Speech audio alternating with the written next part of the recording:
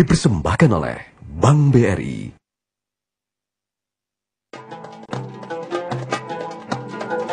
Assalamualaikum warahmatullahi wabarakatuh. Pemirsa, bahagia sekali rasanya kita bisa kembali berjumpa dalam acara Tafsir Al-Misbah. Dan Alhamdulillahirrabbilalamin kita masih diberikan nikmat dari Allah Subhanahu Wa Taala Untuk bisa terus mengkaji dan mengulas bersama eh, makna-makna uh, yang terkandung dalam Al-Quran dan bersama saya Ale Rohali dan tentu saja Bapak Quraisy Shihab. Assalamualaikum warahmatullahi wabarakatuh Bapak. Waalaikumsalam. Ya dan tamu kita pada hari ini terkenal sebagai salah satu uh, pemain bass pemain bass kok bass ya pemain bass uh, dari band Gong 2000 yang sudah pasti tidak asing di telinga Anda semua dan juga tentang kisah beliau yang telah hijrah meninggalkan dunia musik secara keseluruhan kita nanti juga akan uh, berbincang-bincang dengan beliau Selamat uh, datang di Tafsir Al-Misbah. Assalamualaikum warahmatullahi wabarakatuh. Mas Yuke Sumeru. Terima kasih sudah hadir. Dan kita akan mulai saja Bapak untuk uh, mengkaji Quran surat Quran surat Al-Isra yang akan kita mulai dari ayat 1. Silakan Pak. Baik, bismillahirrahmanirrahim.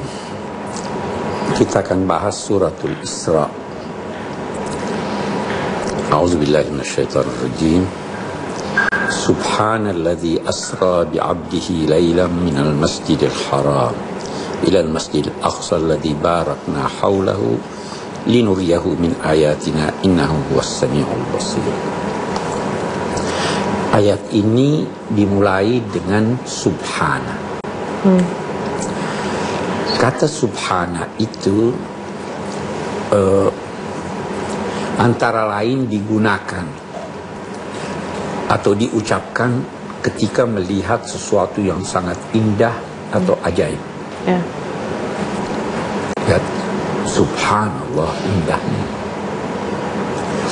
Uh, ini mengisyaratkan bahwa apa yang akan diuraikannya ini adalah sesuatu yang indah, menakjubkan, ya. dan bisa jadi mengherankan. Hmm. Uh, subhana juga ber, eh, eh, berarti atau dia terambil dari kata sabaha yang maknanya menjauh. menjauh. Orang yang berenang itu dinamai sabih berenang karena dia dengan berenang menjauh dari posisinya semula. Ya, ya. Ketika saya berkata subhanallah, maka saya dengan ucapan itu menjauhkan dari Allah segala sifat kekurangan. Hmm. Hmm. Bahkan menjauhkan darinya segala sifat kesempurnaan yang tergambar dalam benak saya. Karena sifat kesempurnaan yang tergambar pada benak manusia, Tuhan jauh lebih sempurna dari itu. Jadi di sini dia mulai subhana. Maha suci Allah, biasa kita terjemahkan maha suci Allah dari segala kekurangan, maha mengherankan perbuatannya, apa itu yang telah mengisrakan hambanya pada malam yang singkat. Nah, kita lihat. Asra itu perjalanan malam. Jadi Isra itu perjalanan di waktu malam. Hmm. Kalau siang tidak dinamai Isra. Hmm. Nah, itu berarti perjalanan Isra Nabi itu terjadi di malam hari. Ya. Tetapi malam katakanlah kalau kita katakan siang 12 jam malam 12 jam. Bukan seluruh malam. Dia katakan lailan. Lailan itu bentuk kata ini mengandung makna sedikit dari waktu malam. Hmm. jadi bukan seluruh malam. Yeah. Maha suci Allah yang telah mengisrakan hambanya pada malam yang singkat dari Masjidil Haram di Mekah kepada ke Masjidil Aqsa di Palestina masjid yang telah kami berkati sekelilingnya. Kalau sekelilingnya diberkati tentu lebih-lebih masjidnya masjid. kelilingnya ada dapat berkat apalagi. Nah, ya itu. Tujuannya agar kami memperlihatkan kepadanya sebahagian dari tanda-tanda kebesaran kami. Min itu artinya sebahagian. Sebahagian dari tanda-tanda kebesaran kami. Innahu sesungguhnya dia. Nah, huwa dia. Dia ini siapa? Allah. Anda bisa berkata dia itu adalah yang diisrakan, yaitu Nabi Muhammad. Kalau saya artikan begitu sesungguhnya dia, yakni Nabi Muhammad, amat mendengar dan amat melihat.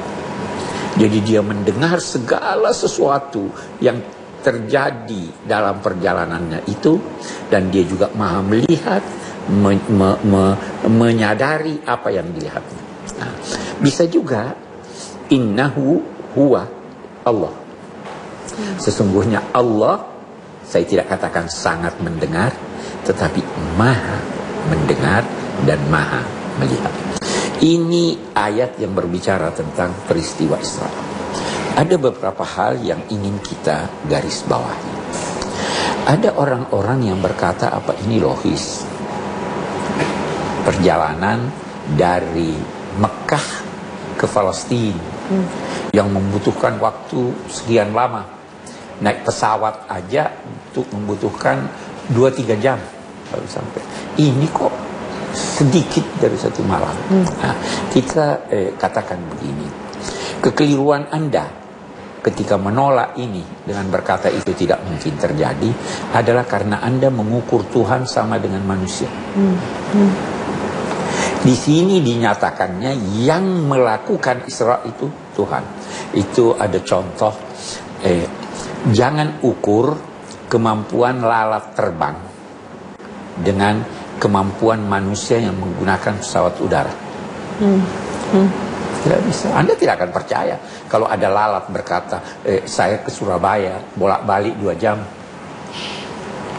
Tapi kalau Anda berkata bahwa lalat itu saya bawa naik pesawat dengan saya, bisa tidak bolak-balik dua jam?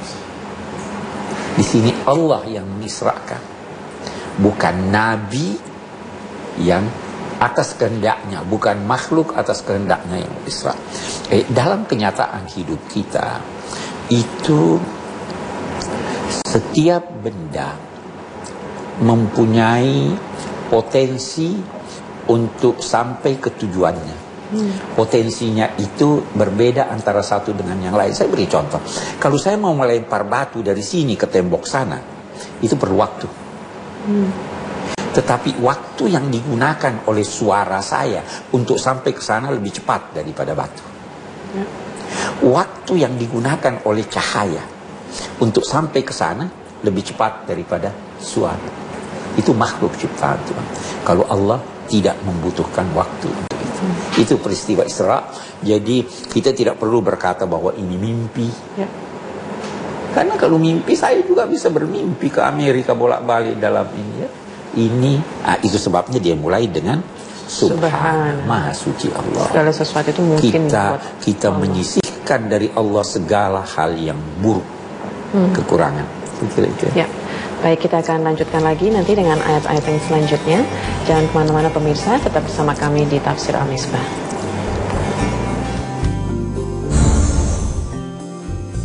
Eh ingat, 50 kali Tuhan sudah turunkan, turunkan. Tinggal lima kali kamu masih memalas, tidak masuk di akal. Ya.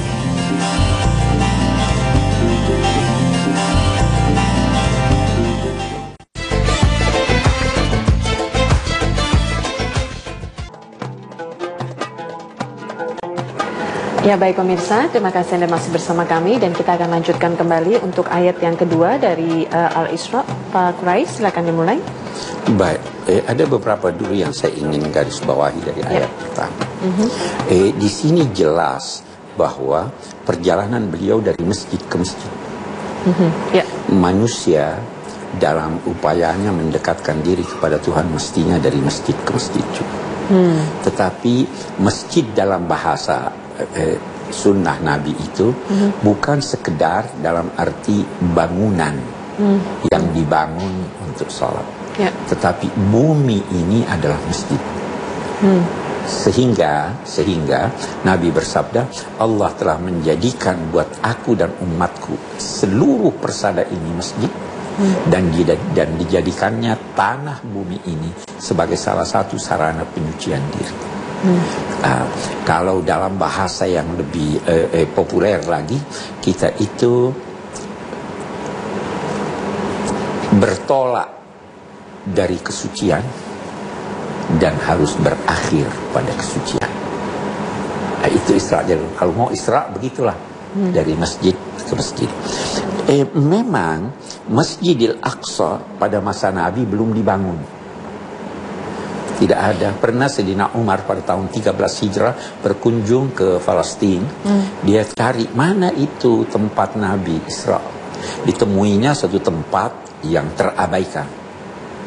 Nanti dibangun sekian ratus tahun setelah itu. Ya, ja- jadi yang dimaksud dengan Masjidil Aqsa di sini lokasinya, bukan masjidnya. Betul? Lokasi yang mana akan menjadi Masjidil Aqsa? Iya, nah yang kemudian dibangun setelah itu eh, pada pada tahun ke sekitar 60 tahun sesudah itu baru dibangun dan baru selesai kalau saya tidak keliru tahun 73 Hijrah. Baru jadi bangunan. Jadi ah, tapi sudah dinamai oleh Al-Qur'an Ya. bahwa itu adalah masjid dan Ya. sebagainya. Baik, kita lanjutkan. Setelah berbicara tentang anugerahnya kepada Nabi Muhammad Sallallahu Alaihi Wasallam, ayat 2 itu berbicara tentang Nabi Musa. Ada orang berkata, apa kaitannya ini Nabi Musa dengan Nabi Muhammad? Kita katakan, Nabi Musa punya peranan yang sangat penting dalam meringankan umat ini menyangkut sholat. Nabi diperintahkan sholat 50 kali sehari semalam. Berbolak balik dan yang berjasa dalam dua tanda petik dalam hal ini adalah Nabi Musa yang selalu menganjurkan Nabi kembali minta keringanan, kembali minta keringanan. Nah, itu juga satu pelajaran lagi bahwa sebenarnya tidak ada alasan bagi seorang muslim untuk tidak sholat lima kali sehari. Ya. Kenapa? Saya beri contoh. Seandainya saya menyuruh anak saya bersihkan 10 kamar ini. Dia bisa beralasan terlalu banyak.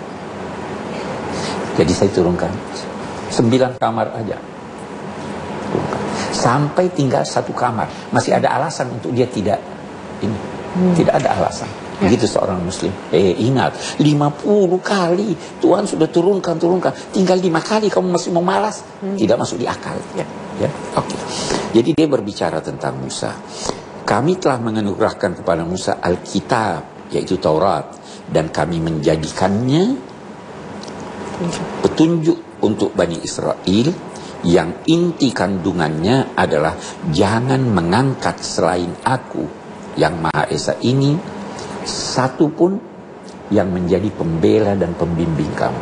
Jangan angkat kecuali Allah sebagai pembela, sebagai pembimbing, sebagai ini. Mereka itu kaum Bani Israel yang diutus Musa kepadanya adalah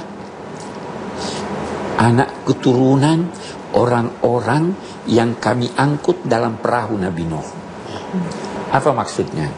Eh, Bani Israel itu keturunan orang baik-baik. Karena dia punya kakek masuk di perahunya Nabi Nuh. Nah, kita berhenti lagi sejenak bahwa anak penerus harus selalu mengingat leluhurnya yang baik-baik. Melanjutkan misinya. Kalau dia menyimpang dari ajaran leluhurnya, maka itu berarti dia bukan anak yang soleh. Zuriyatan wa kana abdan syakura. Nabi Musa itu adalah hamba Allah yang sangat pandai bersyukur. Syakura. Ada perbedaan antara syakura dan syakir. Syakir itu bersyukur. Tapi syakura sering kali berulang-ulang bersyukur. Itu Nabi Nuh. Nah, Banyak bersyukur. Baru sekarang dia bercerita tentang eh sekelumit dari sejarah umatnya Nabi Musa, Bani Israel. Allah telah menetapkan dalam kitabnya bahwa wahai Bani Israel, kalian pasti melakukan pengerusakan di bumi ini minimal dua kali. Bisa juga marratain itu kalau secara harfiah berarti dua kali. Tetapi dua kali itu bisa berarti angka yang dibawa tiga dibawa satu, dua. Bisa juga berarti berulang-ulang kali. Ya kan? Oke. Eh, dan telah ditetapkan, telah termaktub dalam kitab pengetahuan Allah itu bahwa kalian akan menyombongkan diri dengan kesombongan yang amat besar. Apabila datang janji yang pertama dari kedua hal yang kita sebutkan tadi, kami akan mengutus kepadamu hamba-hamba kami yang sangat uh, uh, keras, sangat uh, uh, uh, bengis, sehingga mereka itu masuk ke kampung-kampung mencari anggota dari Bani Israel. Ini adalah suatu ketetapan yang pasti. Hmm. Kapan itu? Dulu dalam sejarah itu ada dikatakan bahwa eh, ada satu penguasa namanya Nabukadnezar. Hmm. Itu eh, eh, apa namanya memerintah sekitar 660 sebelum Masehi. Itu menghancur leburkan Bani Israel. Tetapi kemudian Bani Israel ini tobat. Maka Allah menganugerahkan kepada mereka kesempatan untuk hidup sejahtera. Namun durhaka lagi. Hmm. Ya. Dikirim lagi oleh Tuhan atau dijajah lagi mereka dengan eh, bangsa Romawi yang memporak-porandakan mereka. Nah, sini kemudian di ayat 7 itu Allah menyatakan begini. In ahsantum ahsantum di anfusikum. Kalau kalian berbuat baik, maka perbuatan baik itu akan kembali kepada kalian dengan kebaikan. Dan kalau kalian berbuat jahat, maka kejahatan itu akan menimpa, dampak kejahatan itu menimpa kalian. Dan apabila datang janji ketetapan yang telah termaktub itu ketetapan yang kedua maka mereka itu akan me menyuramkan wajah mereka kamu. Artinya akan menjadikan kamu sangat sedih sangat kecewa sangat wajah yang suram. Itu tanda sesuatu yang tidak menyenangkan. Mereka akan masuk ke masjid lagi-lagi masjid. Ingat masjid adalah bangunan tempat eh, eh, mengabdi kepada Tuhan. Yeah sebagaimana pertama kali mereka masuk dan ketika itu mereka akan menghancurkan kamu dengan sebesar-besar kehancuran. Ya, baik. Kita akan lanjutkan setelah ini ya, okay. Quraisy di segmen yang berikutnya. Dan pemirsa jangan ke mana-mana, tetap bersama kami di Tafsir Al-Misbah.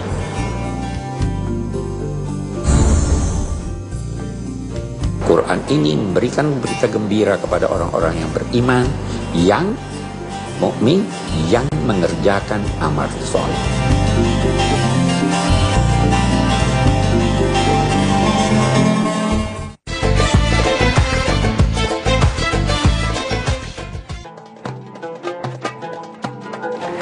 Ya baik pemirsa, terima kasih Anda masih bersama kami di Tafsir Amisbah. Sebelum kita akan menjawab pertanyaan dari pemirsa, terlebih dahulu kita akan uh, uraikan sedikit lagi Pak Quraisy mengenai ayat 8 dan 9 8 dari Al-Isra. Bagus, bagus, bagus. Ayat 8 itu menyatakan asa rabbukum ayyarhamakum. Orang-orang yang berdosa tadi yang diceritakan yang lalu hmm. ini kemudian oleh ayat 8 menyatakan semoga Tuhan kamu merahmati kamu. Hmm. Ya kan? Okay. Eh, maksud ayat ini Wahai orang-orang yang berdosa dan termasuk yang tidak berdosa, harapkanlah semoga Tuhan merahmati kamu. Nah, karena kita tidak bisa berkata eh, eh, eh, Tuhan itu berkata mudah-mudahan saya rahmati kamu. Karena bagi Tuhan itu sesuatu yang sudah pasti. Jadi ini ditujukan kepada kita. Hai seluruh umat manusia, eh, bersangka baiklah kepada Tuhan. Ya. Kalau kamu berdosa, mohonlah ampun. Mudah-mudahan tanamkanlah di dalam hatimu bahwa Tuhan maha baik, Tuhan maha rahman, maha rahim. Mudah-mudahan saya memperoleh rahmatnya. Nah, tetapi dalam saat yang sama, sadarilah bahwa kalau kamu kembali melakukan kesalahan, kami pun akan kembali menjatuhkan siksa. Jadi ini manusia ini dalam hidup ini, apalagi yang eh, ber, yang, yang berdosa, jangan hanya mengandalkan rahmat Tuhan. Hmm.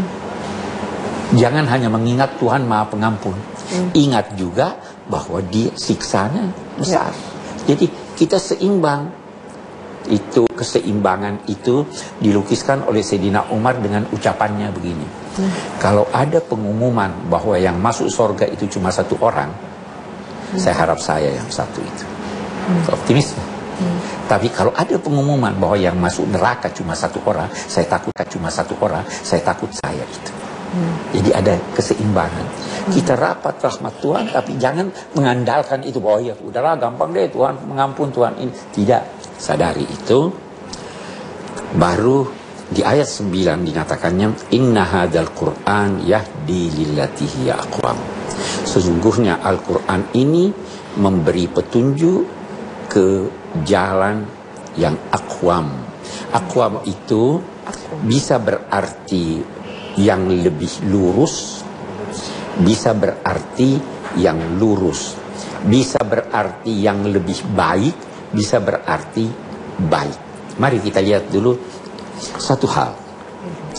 Dalam kitab suci Al-Quran, kitab suci ini mempunyai di- disebutkan mempunyai banyak nama. Al-Quran, Al-Zikir, Al-Kitab, Al-Furqan, dan banyak lagi lainnya.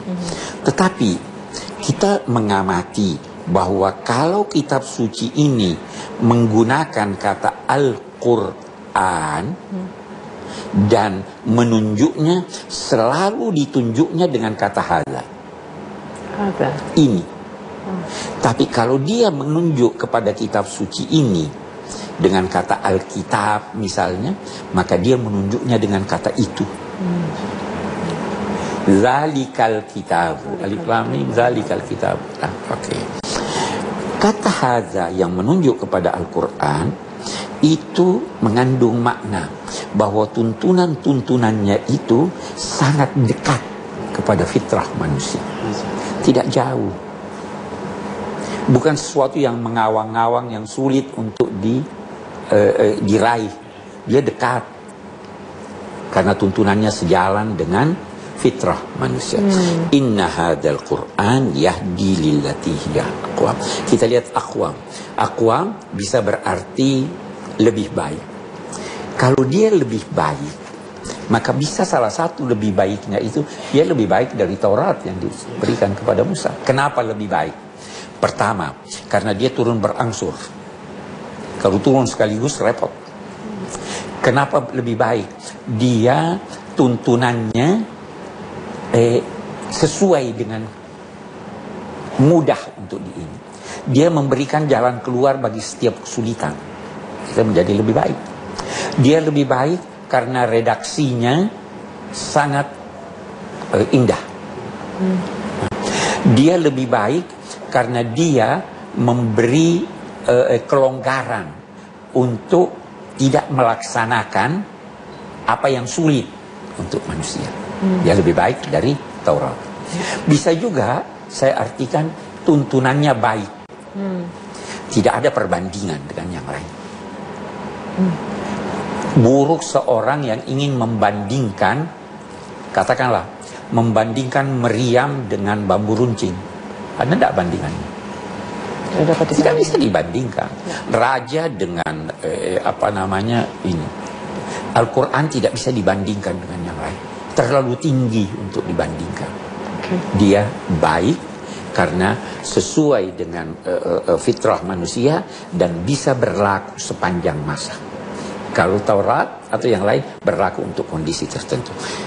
Dan Quran ini memberikan berita gembira kepada orang-orang yang beriman yang mukmin yang mengerjakan amal soleh. Jadi tidak cukup hanya beriman tidak mengerjakan amal soleh. Itu yang diberi eh, berita gembira bahwa mereka akan mendapatkan ganjaran dari itu. Saya kira. Ah, Bapak ini di Quran juga disebutkan eh, la mubalila li kalimat, tidak ada yang bisa merubah kata-katanya ya. Iya. Berarti ternyata dari redaksi tahun 600 redaksinya sampai di, ketika dikodifikasi sampai sekarang itu kan wakofnya aja nggak bisa pindah itu. Iya, iya. Nah, apa-apa bisa dipemahaman ke situ juga? Kita bisa pahami eh, kalimatnya dalam arti kata kalamnya. Kalamnya ya. Ya toh? Tetapi kita bisa juga fahami eh, kalimatnya dalam arti pengetahuannya. Pengetahuan, Karena ilmunya. apa yang diucapkan, apa eh, pengetahuan Allah itu tidak bisa terbatasi. Ya. Ya. Eh, dan eh, salah satu perbedaan antara pengetahuan manusia dan pengetahuan Allah, salah satu perbedaannya dan sekian banyak perbedaannya bahwa Allah tidak salah. Ya. Ya. ya. Baik, kita akan coba untuk uh, jawab satu pertanyaan dulu ya. Mungkin uh, dari pemirsa di rumah kita akan lihat terlebih dahulu tayangannya. Assalamualaikum warahmatullahi wabarakatuh. Nama saya Midina Diandra, Pak Kurais. Saya ingin bertanya, bagaimana jika kita secara tidak sengaja menyakiti hati orang, namun di sisi lain kita juga merasa tidak perlu untuk mengaku salah atau meminta maaf. Wassalamualaikum warahmatullahi wabarakatuh. Jadi kita tidak sengaja menyakiti perasaan orang, tapi juga tidak mau minta maaf atau mengakui hal tersebut. Kan nggak sengaja ya Pak ya? Gimana? Iya. Saya ingin eh, apa namanya balik. Ya.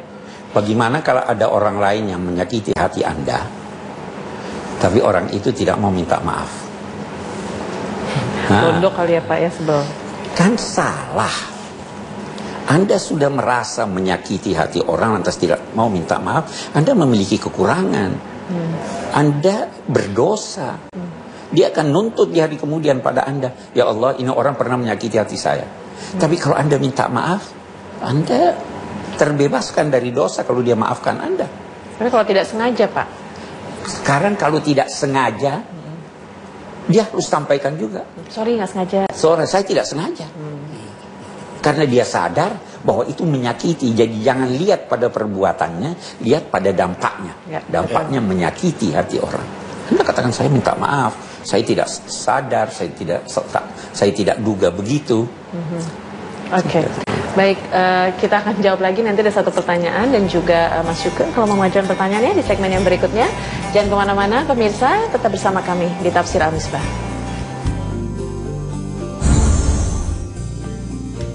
Yang diakui oleh Allah sebagai hambanya itu antara lain Nabi Muhammad.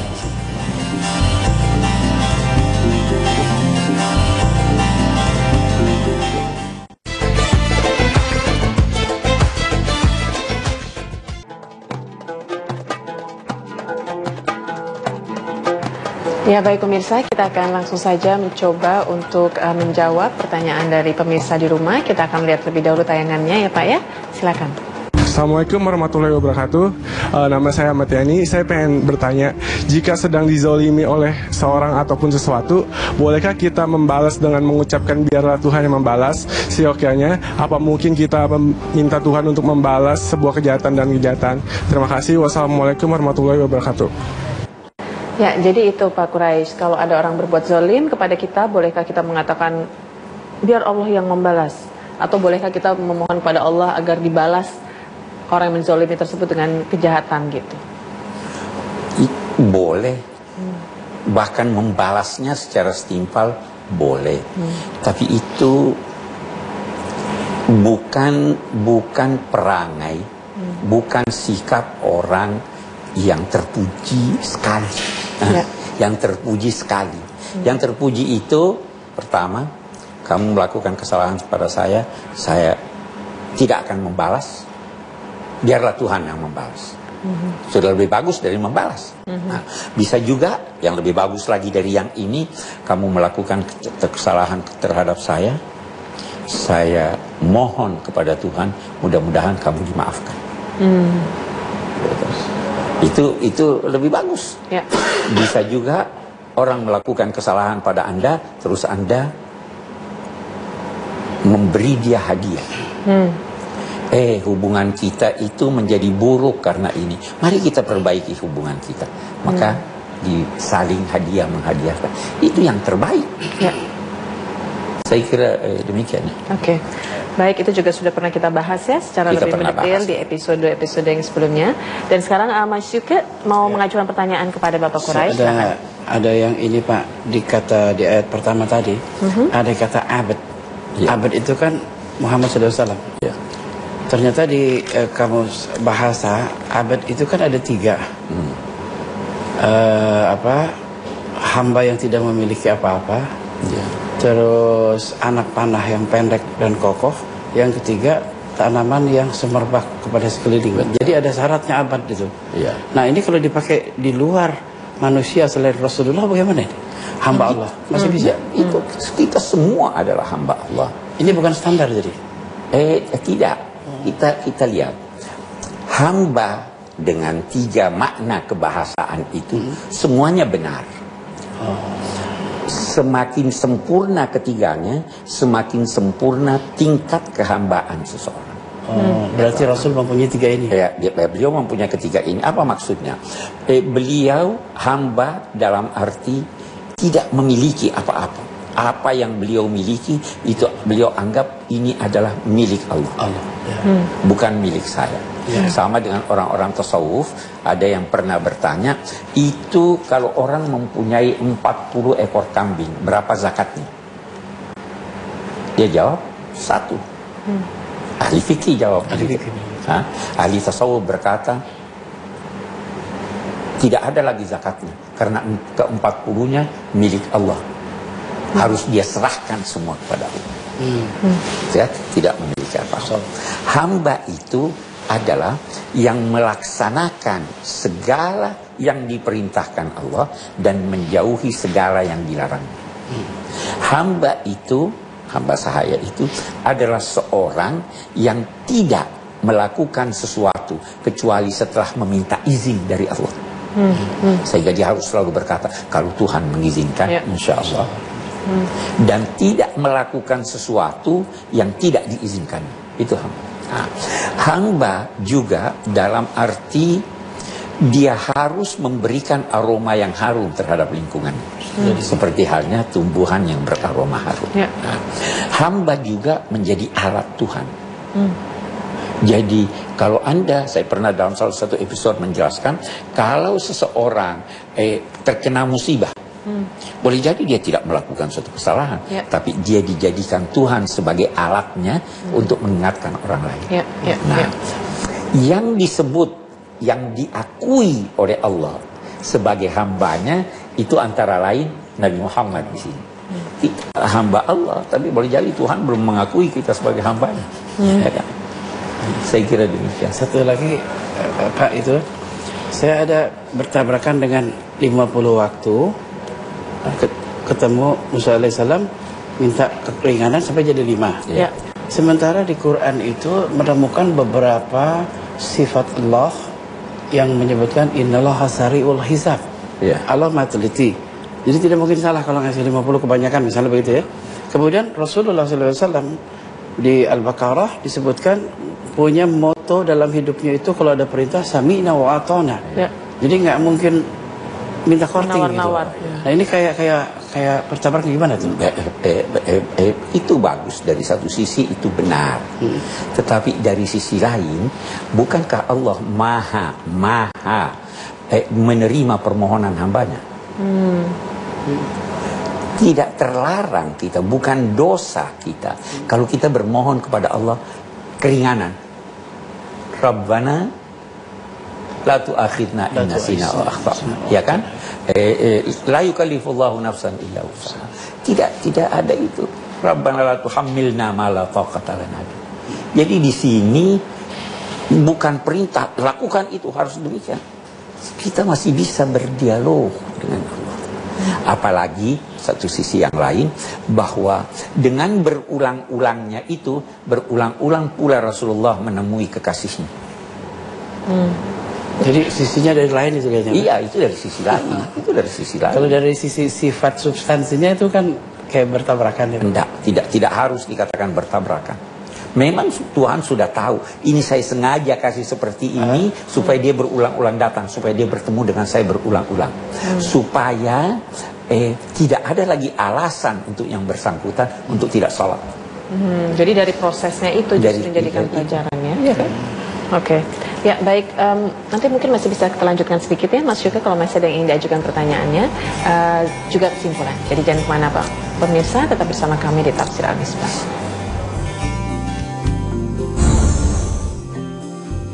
Ketika kita berkata Masya Allah, apa yang terjadi ini adalah atas kehendak Allah Ah, iya, iya. Subhanahu wa Ta'ala.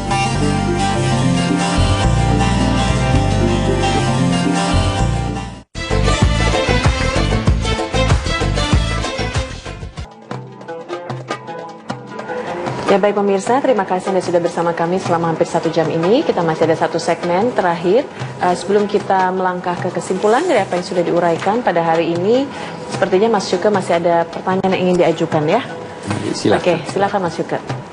Jadi yang pertama yang di ayat pertama itu Pak mengenai Kembali ke ayat pertama. eh, Masjidil Haram ke Masjidil Aqsa. Aqsa itu artinya tempat paling terjauh ya Pak. Iya. Nah, ini kan saya baca di internet 1500 km ini kurang lebih 1500 kilometer. Oh. Nah, udah gitu di sini ada ada saya pernah buku baca buku pernah uh, uh, mufasir tapi kan saya baca buku bapak semua.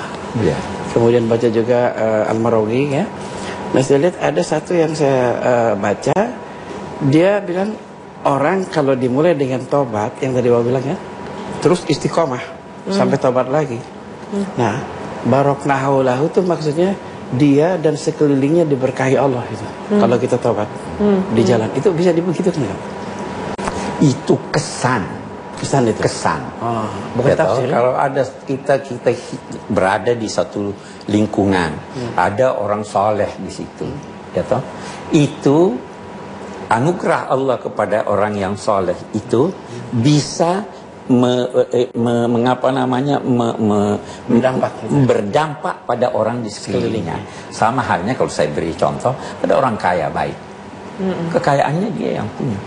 Tetapi kalau dia orang baik, sebagian kekayaannya akan dibagikan pada orang lingkungan. Begitu, ya kan begitu. Ya. Nah, begitu juga kalau orang jahat. Orang jahat bisa mempengaruhi sekelilingnya walaupun yang di sekelilingnya itu baik. Ya, ya. Satu lagi ini Subhanallah sama Masya Allah. Nah itu konteksnya lebih lebih itunya. Eh, iya, Subhanallah. Sabaha itu kan? Iya, ah, Subhanallah itu eh, seperti apa yang saya terangkan tadi. Masya Allah itu penekanan bahwa apa yang terjadi ini adalah atas kehendak. Allah. Enggak konteks negatif. Konteks negatif.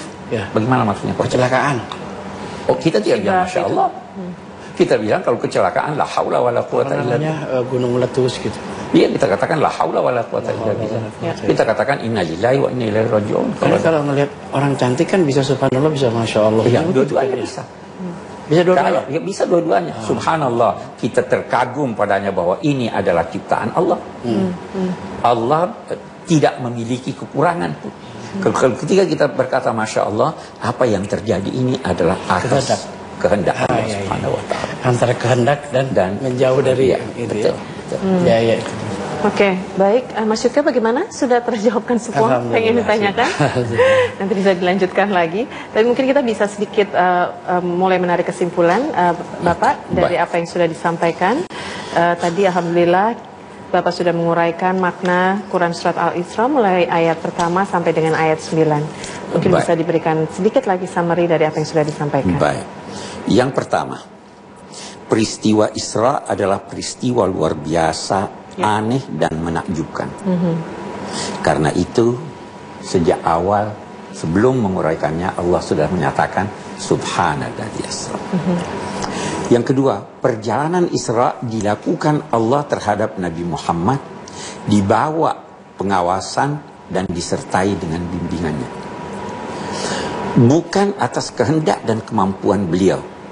Atas dasar itu, ayat ini mengingatkan semua manusia bahwa peristiwa tersebut harus dikaitkan dengan kehendak dan kekuasaan Allah. Sungguh keliru jika peristiwa itu diukur dengan ukuran kemampuan makhluk. Ya. Ya. Yang ketiga, ayat di atas menyebutkan awal perjalanan dan akhirnya, yakni antara dua masjid. Itu agaknya untuk mengisyaratkan bahwa perjalanan hidup manusia menuju Allah hendaknya bermula dari masjid, yakni kepatuhan kepadanya, dan berakhir di masjid kepatuhan kepadanya. Kita mulai dengan bismillah dan kita berakhir dengan la haula wala quwata illa billah. Pangkalan tempat kita bertolak Allah, pelabuhan tempat kita bersauh juga Allah. Ya. Empat, Masjid Al-Aqsa dan sekitarnya bukan eh, diberkahi Allah bukan saja karena kesuburan tanahnya, tetapi juga yang lebih penting adalah kehadiran banyak sekali nabi di sana. Itu. Yang kelima, tidak ditegaskan oleh ayat ini apakah peristiwa Isra tersebut dengan ruh dan jasad Nabi Muhammad atau hanya dengan ruh beliau hmm. atau berbentuk mimpi. Hmm. Ulama berbeda pendapat tentang hal tersebut, ya. tetapi kecenderungan banyak ulama bahwa itu terjadi atas kuasa Allah dengan ruh dan jasadnya. Hmm. Kemudian menjaga nama baik leluhur mengharuskan anak cucu meneladani mereka dalam hal-hal yang baik. Yang lama selama masih baik perlu dipertahankan, sebagaimana yang baru dan lebih baik perlu diambil dan diteladani. Bani Israel pernah melakukan aneka kedurhakaan dan mengalami pula banyak siksaan dua kali siksaan atau berulang-ulang kali siksaan yang diisyaratkan oleh ayat ini tidak dijelaskan kapan dan di mana itu sehingga kita wajib percaya bahwa itu pernah terjadi walaupun kita tidak harus menentukan kapan dan di mana. Hmm.